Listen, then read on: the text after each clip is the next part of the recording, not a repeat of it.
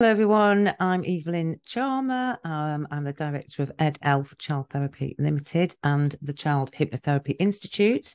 Um, but you may not know, I'm also a children's workforce development uh, trainer. Uh, I design and deliver training for um, all sorts of organizations. If you work with children, young people, I can usually come in and train your team.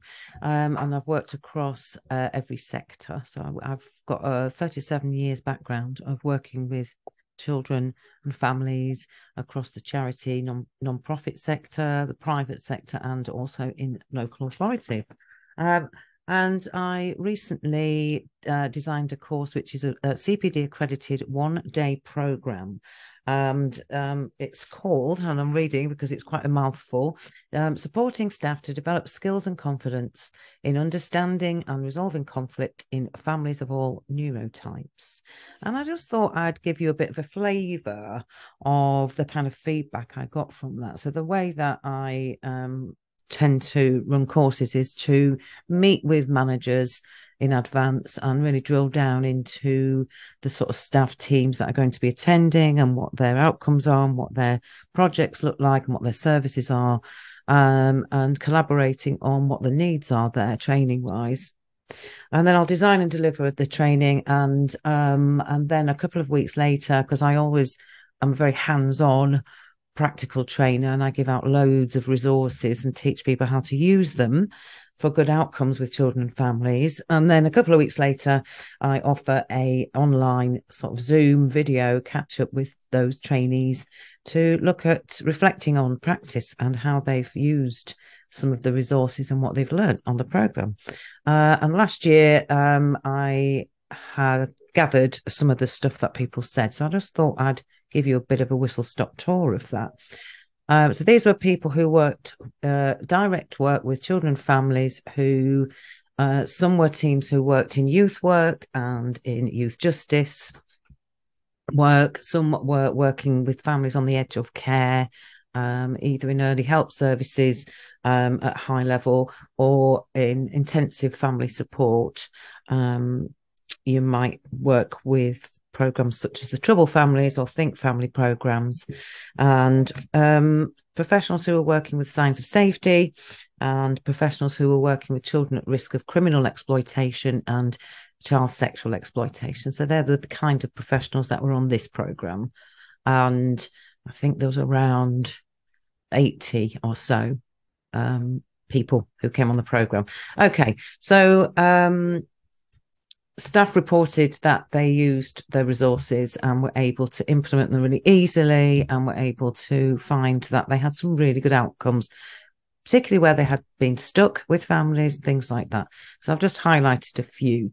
So using stress response activities um, someone said it was really good to help a young person understand her own responses and anger and see how others might goad and coerce her into these reactions and how she might react differently for a different outcome. Brilliant. That's what we want. I mean, you know, my only motivation is to help children and young people. Um, so, you know, you're not going to be able to, as a professional, help everybody in every situation. But developing your confidence um, and your understanding is really brilliant in terms of getting better outcomes. So, this is great. Uh, someone else said they used it for creating a situation where the family are now having meaningful conversations instead of arguments. Love that. Um, you can see there are others here. I've just highlighted a few so that this uh, short video remains short.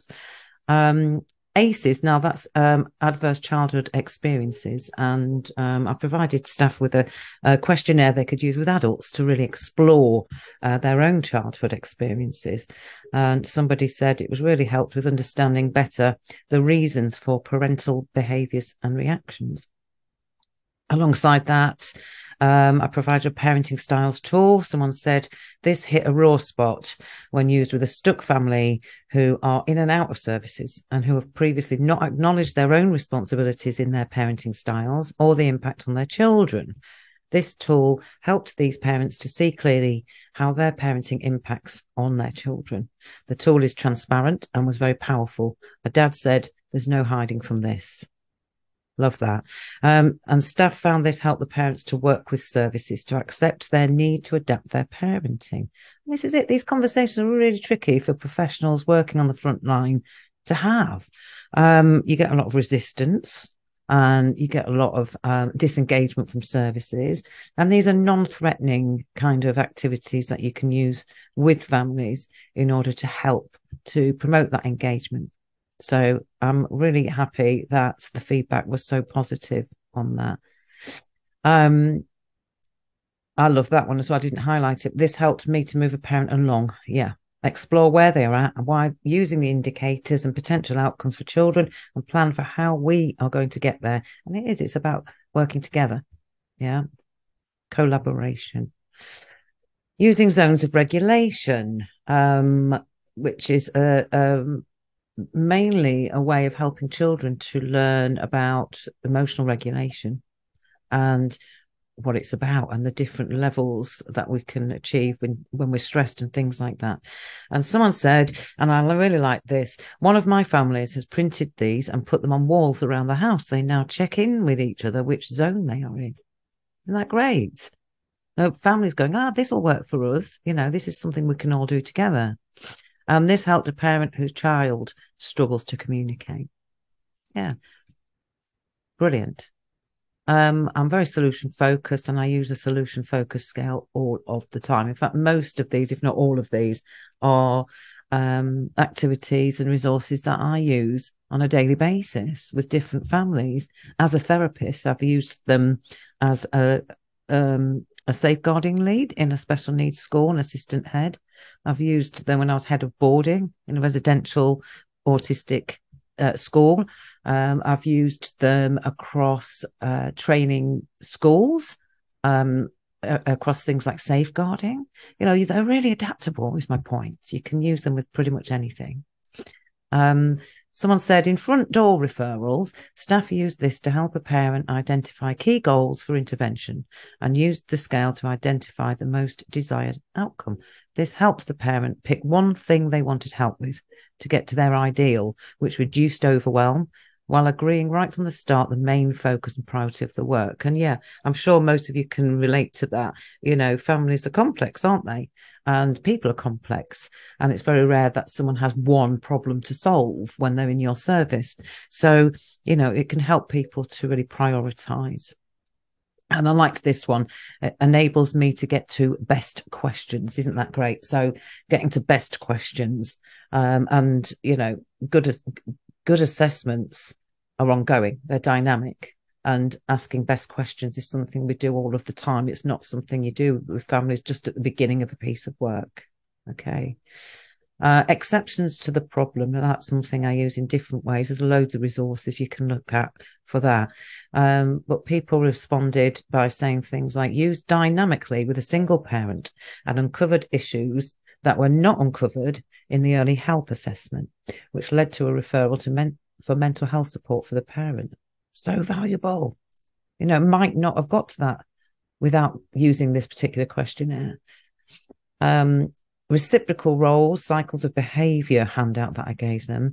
Um, they said they blended this with something called the cycles of change diagram to get better outcomes and plan for exits and strategies to move someone away from their cycle of behavior and have choices.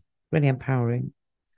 And someone said they used it with a young person wanting to move in with one parent, turning their starting point of I'm unwanted to I'm unique and important and discussing their choices.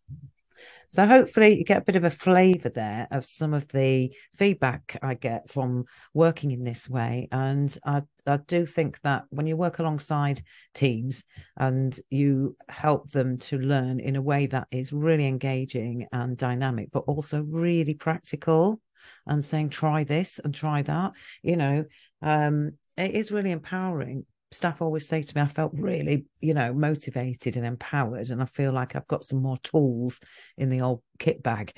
And that's what it's all about. So, yeah, I'm not just a therapist. I'm somebody who provides bespoke and tailored training to children's workforce um, all over the country. And if it's something that you're interested in finding out more about, you can contact me on my email, which is evelyn charmer at outlook.com. thank you for your time and any questions or anything you want to talk about that's come up from this short video, please do comment or contact me. Thank you. Have a good day. Bye, everyone.